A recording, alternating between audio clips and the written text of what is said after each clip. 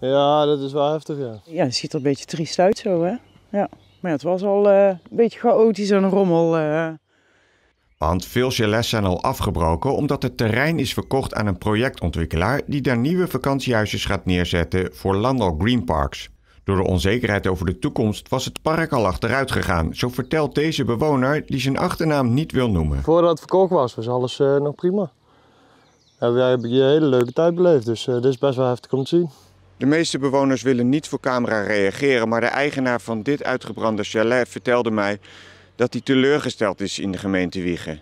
De bewoners hebben hier jarenlang gewoond en hun chalets prachtig opgeknapt. Maar hij zegt de gemeente Wiegen gaat liever in zee met Landal Green Parks, omdat ze aan die klanten meer kunnen verdienen.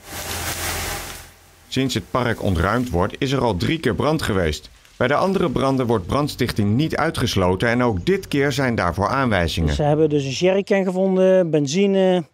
Ehm, ja, zo is het eigenlijk ontstaan. Dus je zegt van ja, wat is dat nou? Ja, dat weet ik niet. Ja, Het park kwam de afgelopen jaren al vaker in het nieuws omdat de gemeente Wiegen geen permanente bewoning meer toestaat.